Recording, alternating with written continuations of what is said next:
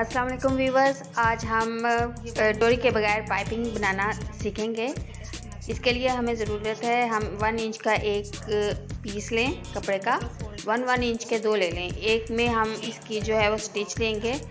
एक पाँव का मार्जिन रख के, मशीन का ये जो पाँव है, इसका एक पाँव का मार्जिन रख के स्टिच लेंगे। पूरे पीस पे हमने जो वन इंच का लिया है, इस पर स्टिच ले लेनी है।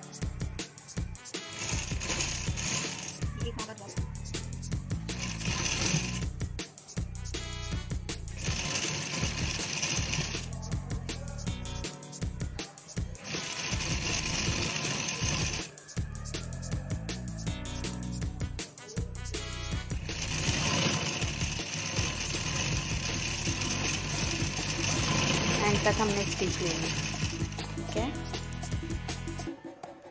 इसको कट कर लें। इसके बाद वन इंच का एक और पीस लें। और एक बड़ी सुई लें। उसमें जो है वो आप थ्रेड डालें। उसमें धागा डालने के बाद थोड़ा सा धागा डालें और इसको जो है वो उस कपड़े के साथ अटैच कर दें। इसके बाद इस सुई को एक साइड से जो हमने पाइपिंग बनाई से इसमें डालना है इसके अंदर। इंसर्ट कर रहे एक साइड से डाल के दूसरी साइड पे हमने ये कपड़ा निकाल लेना है। जैसे इसके अंदर डोरी डालते हैं, ठीक है? ये जो वन इंच का कपड़ा है, ये हमारा डोरी का काम देगा।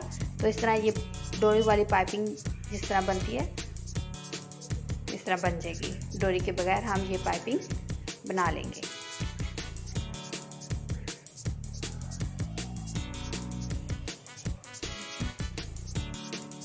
ये बहुत आसानी के साथ आपके जो है वो शर्ट पे अटैच हो जाती है।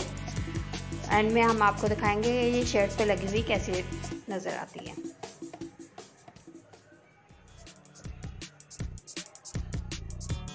अच्छी तरह इसको जो है वो आहिस्ता आहिस्ता खींच के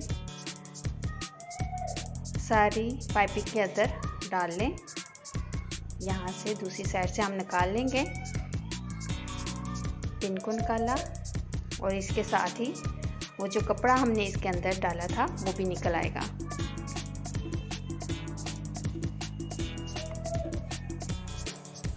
अब इस थ्रेड को कट कर लेंगे। और हमारी इस तरह डोरी कंप्लीट हो जाएगी। वैसे तो ये डोरी इसके लिए ये वाली पाइपिंग आप देखें। डोरी वाली पाइपिंग की तरह ही लगेगी।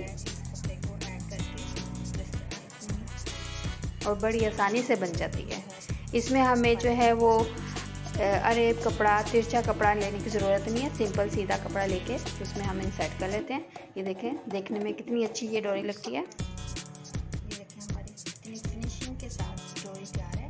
अब इसको आप आराम से तैयार होने के बाद ये ऐसे लगती है। कुर्सी पर अटैच कर सकते हैं।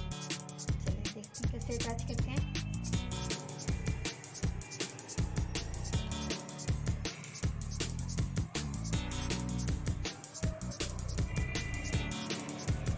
अब शर्ट में अटैच होने के बाद इसकी लुक कैसी आती है, वो आप देखें। अभी मैं आपको दिखाती हूँ।